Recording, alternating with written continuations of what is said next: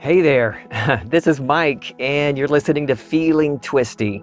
I'm really glad you're here. So, what's going on? It's been a while since my last episode. I'm really glad to be back. You know, the Bible is full of verses that tell us to have faith. Jesus tells those who he's healed or healed loved ones of those who come to him that your faith has healed you, or words close to that. In the eighth chapter of Luke, the leader of the synagogue comes to him about his daughter who has now died. And Jesus, overhearing them talking about it, tells the father, Do not be afraid, only believe, and she is healed. Only believe. That's it. In the ninth chapter of Mark, a father of a sick child comes to Jesus and asks if he can please help. And Jesus says, one of my favorite lines anything is possible for the one believing. One uh, part of that little story that I seldom hear is the father replies, I do believe, but help my unbelief. Hmm. Why do you think that's in there? Because it's okay. It is okay to have moments of like, oh, those feelings of unbelief or disbelief. It's okay. And I know in the manifesting community, we, you know, we talk about you got to believe, you got to know, but you're a human being in this garment of flesh with all these emotions and I'm not the only one saying this. I noticed uh, Koti Tia uh, the other day talked about this too, and others do. Those who get it. It's okay. You're human. You're God, but you're also human. You're here for a purpose, and you chose this role. It's okay to admit that there's you have moments of this uh, feeling of lacking the belief that's a desire too. How would I feel if I could enter a state, a state of my choosing at will, and rest in it, completely confident in myself, knowing that I've got it? Hmm. Hey, it's a desire, take it. Assume the feeling of that desire fulfilled. Anyway, it's okay. It's okay. I think it's so easy to get caught up in the whole business of manifesting. I mean, as a consumer, getting so wrapped up in searching for another teacher, one more program to finally get me over the hump. Always reaching, groping for help from those that seem to be on the outside. It was certainly like that for me. Even after I was healed, or more accurately, moved from a state in which the brain lesions and dystonia were present to one in which they were no longer present or weren't present. I've mentioned this before. I went nuts. I was online searching for answers in social media posts and reading and or listening to several of Neville Goddard's lectures a day. I was well, it was just crazy drove my kids crazy too because that's all I would listen to on the radio in the car. Can we listen to music? No, I need Neville. I did gain a lot of knowledge. I know a lot about Neville Goddard and his life, and I can quote a lot of his lectures. And a lot of times, somebody can give a quote to me, and I can tell you what lecture that's from. Don't test me. but I wasn't applying it I wasn't living it. I spent so many months studying, but not actually applying what was being said. I had abandoned the fun of being human for the study of the theory of it and becoming or trying to become something more. I'm not going to tell you to stop looking online or buying books and programs from teachers or tell you to stop listening to podcasts about manifesting and so much more. Hmm. but what good are they if you aren't really putting it into practice? And what good are they if those teachers or podcasts become things you rely on outside of your own being? That feeling of, oh, I've got to, I've got to listen to this guy. I've got to read another post. I need this. I need them to notice me. I need their attention. Hmm. Sounds like a false God. Your own wonderful human imagination is all you need. For so long, I looked outside of myself and relied on others teachers, motivational speakers, even Neville. I'd become so dependent on them that I forgot who was really behind all of this. I was so busy studying and reaching and groping and trying and fighting and, ugh, right? Am I the only one that has felt this? I am the sole cause. Repeat this. Say this with me. I am the sole cause. Hmm. Back then, I would be going about my day and then have a thought, a little bit of a thought about something not going the way I wanted it. And before I knew it, it was all out panic. And it became a habit. I didn't even think about it. I would quickly find a lecture of Neville's or search for answers in an online teacher's posts. I think you might know what I'm talking about. You have this feeling of urgency, this slight panic, like, oh, crap. Quickly, let's find Neville. Let's find this teacher, that teacher. Let's find Feeling Twisty. Don't look to me. I'm here reflecting you, but don't rely on me. It's all within you. Even this podcast. See? Hmm. If I wasn't in a position to listen to a lecture or go online, I would I could be anywhere at, a, at a, somebody's house, in our own house, having dinner, anywhere. And I would just get so panicked and uptight and tense. I would just excuse myself run to the bathroom or my bedroom if I were home, and on the way to the bathroom or bedroom or wherever my little prayer closet was, and trying to hurriedly uh, come up with some new scene. What what can I imagine? I need to imagine something. I need a scene. I need a scene. I need to do this right. Oh man. So much angst. I didn't need to find an empty room to get into the silence to be aware of the stillness that is always with me, because it is me, this immovable rock of my salvation. Hmm. My I amness. The I am never changes. My states do. But as long as I continue to believe that I am the state that I'm presently entertaining, I could get lost in it. And when I'm lost in a state, oh, how do I get out of it? I need help. Oy vey.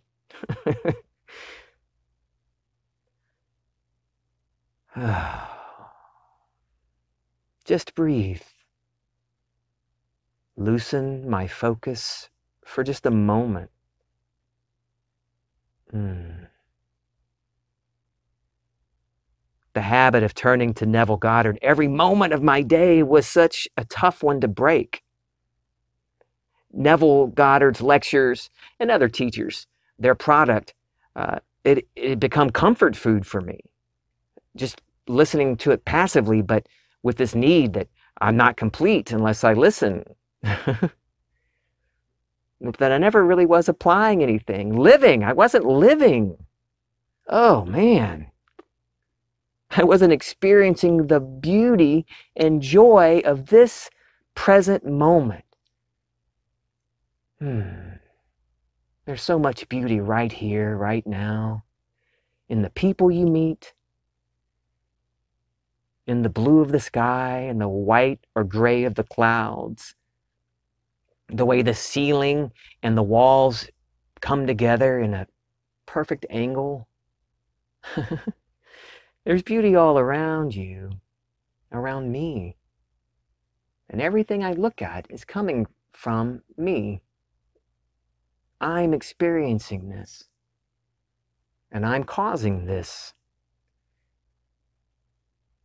So, back to my crazy habit, my comfort food of manifesting teachers. I was relying on them to feed me instead of taking action in imagination and appropriating my own food. you know what I mean, not just food, but anything, my own life. Listen, Neville teaches wonderful techniques, and I found some modern, current teachers who do as well. But if you're continually relying on them instead of actually turning to self, you're making them a false God. You know, I would do this. I would, something would come up and, oh, what does Neville, what lecture does he talk about this? I know he does. And I'll do a word search for some topic and find a lecture in which he talks about this. Or think about, okay, what does this teacher say? Let me check their posts. Let me find somebody. What's that Instagram account that always has great quotes? I just need one more great inspirational quote to fix this. hey, I'm talking about myself. I did this. Instead of wondering what this or that person says about a topic or what or how to imagine, instead of asking, what do they say? Ask myself, what do I say? What do I say? What do I want? What am I feeling or allowing right now? I know better than anybody what fulfillment feels like. It only takes a few moments to find that rock within you, that stillness, that love. And you already know exactly what you want. You've been thinking about it all day today, probably, and yesterday, maybe. And your acceptance of the wish fulfilled is all that it takes a continued acceptance. That's what Mark 11 24 says. Whatever you claim in prayer, and prayer is movement in imagination, whatever you claim in prayer, continue believing is already yours. I have it now because that's all we have, you know, right? It's always now, right here, right now. What am I feeling? What am I aware of? And it will be yours. That's the rest of the verse. Acceptance of the end wills the means. The Bible has all points us to ourselves all the time. Commune with your own heart on your bed and be silent. Work out your own salvation. Unless you believe I am He, you'll die in your sins. That isn't a God on the outside, that's your own I amness. When you commune with your own heart, yourself, that communion is with your unlimited self, from which all things come. And they're all present. they're all here now. Here's a wonderful quote of Neville's that which you seek is already housed within you. Were it not now within you, eternity could not evolve it. No time stretch would be long enough to evolve what is not potentially involved in you. You simply let it into being by assuming that it is already visible in your world and remaining faithful to your assumption. It will harden into fact. Your Father has unnumbered ways of revealing your assumption. Fix this in your mind and always remember an assumption, though false, if sustained, will harden into fact. You and your Father are one, and your Father is everything that was, is, and will be. Therefore, that which you seek, you already are. It can never be so far off as even to be near. for nearness implies separation. What could comfort you more than the knowledge that you don't have to wait for your dreams to come true? They are nearer than here and sooner than now. Let this knowledge be your comforter. mm. I know it might seem so outrageous to think all things exist already within your own consciousness, within awareness, and that it doesn't have to take a long time or hard work to make your dreams come true. But it is. I love how he says, just let it into being by assuming that it's already visible in your world. Don't get lost in trying to manifest just like some other teacher or speaker does.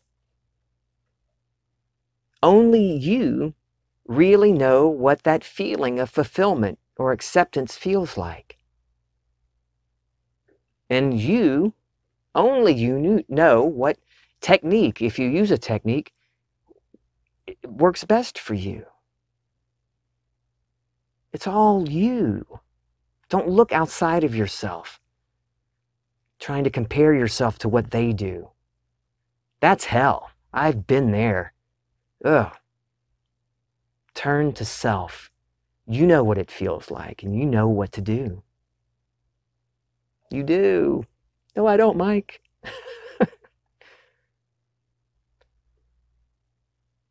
don't get tripped up on making it about the other, trying to fix something so this person or that person will love me more or won't be angry with me feels de- very different than feeling what I want to feel about a situation, what I want to feel, how I feel. My self concept is the key. The seeming others around me will conform to that new self concept. My new self concept changes my world. If we know He hears us in whatever we ask, we know we already have it. That's 1 John 3:15. Now he isn't a he, it's I am, your very own consciousness, your awareness of being. So God does already know what you want. And any technique you might want to try is just a way to get you to the point of acceptance of the end. And there are so many wonderful techniques and teachers out here. But you are individually God, not a fragment, the whole in a seeming separate piece. Your very own being already knows how to express every one of your desires. Get quiet for just a few moments. And instead of trying to conjure up something to imagine, just be okay with the stillness and the darkness. There isn't one thing that has happened prior to this moment that means anything unless you want it to. There isn't anything you think will be happening in a little while that means anything unless you want it to. In fact, other than right here, right now, this present moment you're in, nothing really exists as a solid reality for you. You can imagine it, think about it. But this present moment is all that matters. You are the Word that was with God in the beginning. And that beginning is always happening. This is a beginning. Every moment is a beginning. Your whole world is formed by the meaning you give it. The Word was with God, and the Word was God. Hmm. That's you. And forget time. Drop the idea that the changes you want will have to take time. Now, nothing is instantaneous everything takes time or you would never experience change. But drop this idea that, oh, this is going to take some time to work on. I've got all this to do. I've got to, oh, it's too much work. It's all within you, not in your little body. Your body is within you. Neville describes space as a facility for experience and time as a facility for change of experience. That's how we experience change. I was this a moment ago and now I'm this. 2020, that's Mr. 2020, once suggested that time is a state of consciousness. And I like that. Consciousness being the only reality, then all things that show up within consciousness are states of consciousness. The being you really are is love, and perfect love drives out all fear. Your true self doesn't contain fear, but power and love. The Bible tells us that the Spirit God gave us is not one of fear and timidity, cowardice, but one of power and love and self control. This being, your true self, knows exactly what you want and has the plan of expression, the how to get there, all the means that are necessary. And it's uh, it's rarely what I thought it should be. Like this is how it's going to be. My the depths of my own being, my imagination always has a much smoother way to get me there. Smoother than I thought it had to go.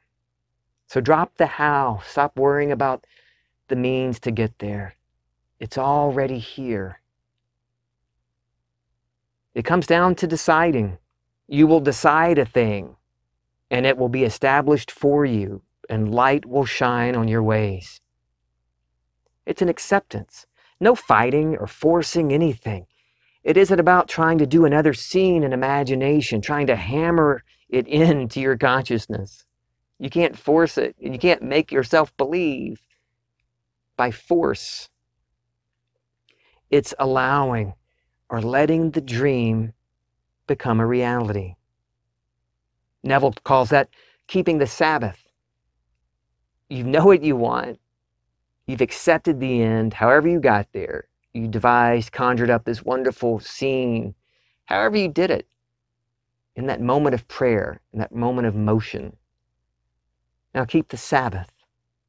Let it come. Let it come. Hmm. I found that it was never about doing a scene wrong or using the wrong technique for a specific desire, but my own anxiety over an issue. I have been my own opponent this whole time.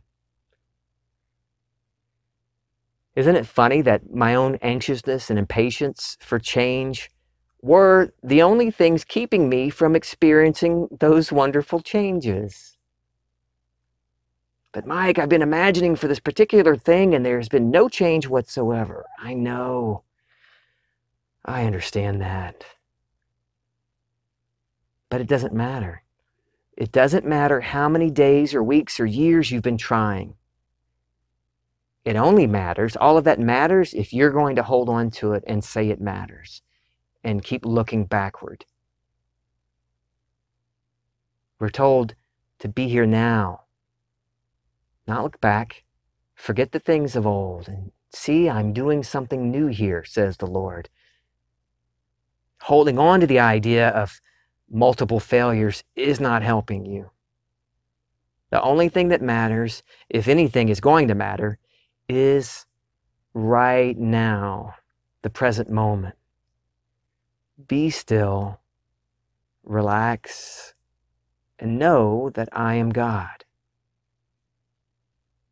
You've done technique after technique, scene after scene. Just relax. Sink into the awareness of right here, right now. You don't have to try to come up with a new way to make it happen. Just relax, be still, Loosen your grip. And notice the beauty of this moment. You're communing with yourself when you do that. And when you do, wonderful things happen. The Bible tells us so. Test me in this and see if I will not throw open the floodgates of heaven and pour out so much blessing that there will not be room enough to store it. And then another verse call to me, and I'll answer, and I'll show you unsearchable things. This is you talking to you, saying, Call me, turn to me. Just turn to me. Just relax. I got this. Just relax. Loosen that grip. I'm right here. You don't have to hammer another scene down my throat. it's all right here, right now. Your dreams truly are nearer than here and sooner than now. Hmm. Thank you for listening. I love you. I'm feeling twisty.